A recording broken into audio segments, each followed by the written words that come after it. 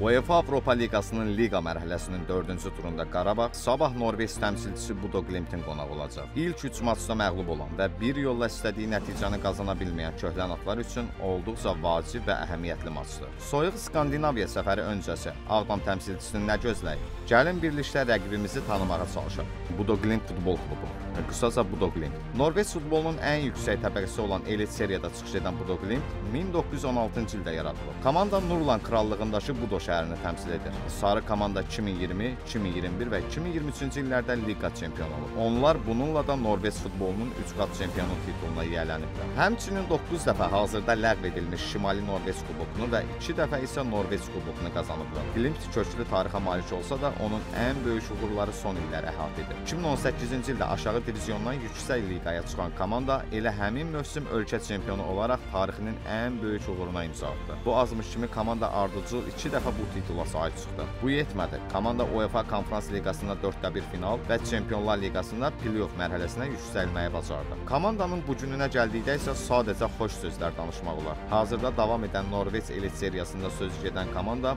27 turdan sonra 55 xalla turnir cədvəlinə liderlik edir. Komandanın daxili liqada 27 maç keçirdiyini və mövsümün sonuna gəldiklərini nəzərə alsaq, hazırda Qarabağa nisbətən daha çox oyun praktikasının olduğu sezilir. İstər hücumda, istərsə də müdafiədə inamlı təsir bağışlayan klub həm də transfer bazarında yaxşı işlər görür. Təkcə bu mövsüm komanda təxminən 20 milyon dollara yaxın futbolçu satışı həyata keçirib. Komandanın sükan arxasında olan baş məşqçisi Pietel Knudsen 2018-ci ildən bu postdadır. İllərdir sabit komanda və stabil oyun tərzini formalaşdıran Norveçli mütəxəssis klubda yaxşı ab-hava yarada bilir. Bunun nəticəsidir ki, bu günləri sarıqaralar UEFA Avropa Liqasında da yoluna itkisiz davam edir. Komanda geridə qalan 3 turda 2 qalibiyyət və 1 bərabərlik əldə edərək turnir cədvəlinin 9-cu sırasında qərarlaşır. Komanda oyunlar zamanı daha çox 4-3-3 taktiki sxeminə üstünlük verir. Rəqib cəbhəsində Qarabağla oyun öncəsi ciddi itkiler var. Skandinaviyalıların heyətində son açıqlanan məlumata əsasən 8 futbolçu zədədən əziyyət çəkir. Onlardan 4-ünün durumu qeyri-müəyyəndir. Ümumi bazar dəyəri 43 milyon avro olan komanda oyunlarını 8270 nəfər tutma malik Az Miras stadionunda keçirir. Stadionun tutumunun az olmasına baxmayaraq rəqibin böyük fanat ordusu var. İstənilən halda Qarabağı çətin oyun gözləyir. Rəqib güclü,